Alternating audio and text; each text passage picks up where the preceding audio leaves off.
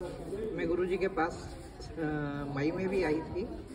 उस टाइम मेरी कंडीशन ऐसे ही थी जैसे अब है। सुधार था उस टाइम में। फिर मेरा यूरो बैग लगा हुआ था और मोशन का पता चला, चलता था कंट्रोल नहीं था। तो इसकी वजह से हमने किसी से पूछा तो आर्टिमिस न्यूरो न्यूरोलॉजी को दिखाया। उन्होंने सारे टेस्ट करवाए। उसके बाद कोई एक ग्राम की दवाई बोली थी। मुझे नाम का नहीं पता है। वो चढ़ाई उन्होंने। उसके बाद मेरी कंडीशन खराब होती चली गई। सुधार नहीं आया दवाई चढ़ाने के बाद। फिर मैं गुरुजी के पास 6 सितंबर को आई थी। उस टाइम में मेरी कंडीशन बहुत ख़राब थी। चलना भी मुश्किल था। चलना भी मुश्किल था मेरा।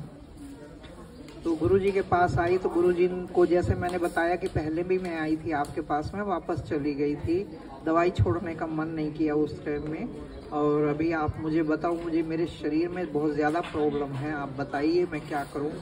तो बोलते, पहले मन बनाओ, फिर मैं दो तीन दिन लगातार आती रही। फिर गुरुजी ने मुझे डाइट बताई। 9 सितंबर को मैंने सारी दवाइयाँ छोड़ी थी 15-20 गोलियाँ लेती थी और तीन बार इंसुलिन लेती थी। मेरी शुगर साढ़े तीन सौ आती थी। और उसके बाद मैंने जो गुरुजी ने डाइट बताई डाइट बताने के बाद मैंने 20 दिन में ही 10 किलो वेट कम किया और मैं अपनी प्रॉब्लम की वजह से यहाँ नहीं रह पाई। मैं घर से ही फॉलो कर रही हूँ, सारा जो गुरुजी बताते हैं, उनकी वीडियो देखती रहती हूँ। फिर उस तो उसके बाद मेरा धीरे धीरे धीरे धीरे वेट मेरा ढाई महीने में एक चौदह किलो कम हो गया। अभी मैं काफ़ी बेटर महसूस करती हूँ, अपने आप चल लेती हूँ। और फुट ड्रॉप की वजह से मुझे फुट ड्रॉप वाला चल डालना पड़ता है, क्योंकि गिरने का डर है उसमें। वैसे अभी मैं सेवेंटी परसेंट के करीब ठीक तो पैरालिसिस था आपको? पैरालाइज का अटैक आया था मतलब हाँ। नीचे नीचे हिस्से पे आया था। अच्छा। पहले लेफ़्ट पैर में आया था सुबह फिर मैं दिखाने गई वहाँ उन्होंने जज ही नहीं किया क्या है एसिडिटी की दवाई दे दी मुझे। फिर उसके बाद रात को 12 बजे मेरा दूसरे पैर में अटैक आया था। अच्छा अच्छा। ये आपका मई की बात है? या। ये ये प्रॉब्लम जो अटैक आया था ये कब का कौन से महीने मेरा में? 14 अक्टूबर 2022 को आया था। अच्छा। अच्छा एक साल पहले की बात। एक साल पहले। अच्छा अच्छा। तो ये अब आप दो तीन महीने से मतलब फॉलो कर रहे हैं? गुरु जी के पास ढाई महीने से फॉलो कर रही हूँ। हाँ। उससे पहले गुरु जी से कोई जुड़ाव पर आपको तीन महीने में इतना फ़र्क पड़ गया को आपको लगता है कि फ़र्क पड़ गया सेवेंटी परसेंट आप इम्प्रूव कर क्या क्या आपने फॉलो किया? खाने पीने में बदलाव?